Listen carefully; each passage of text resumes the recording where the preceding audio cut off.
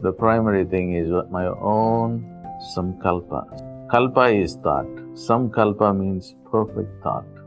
If I have a perfect thought and see somebody so thin and their weight will drop, and I am working already, I have started working, and I will, I will defy all resistance, and that's going to be my manifestation.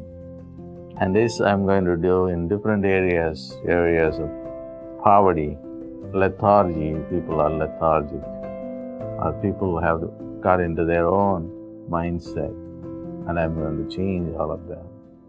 So the hereafter the ball will not be in anybody's court. I got to keep the ball in my court. That's for sure. I'm very happy to do that.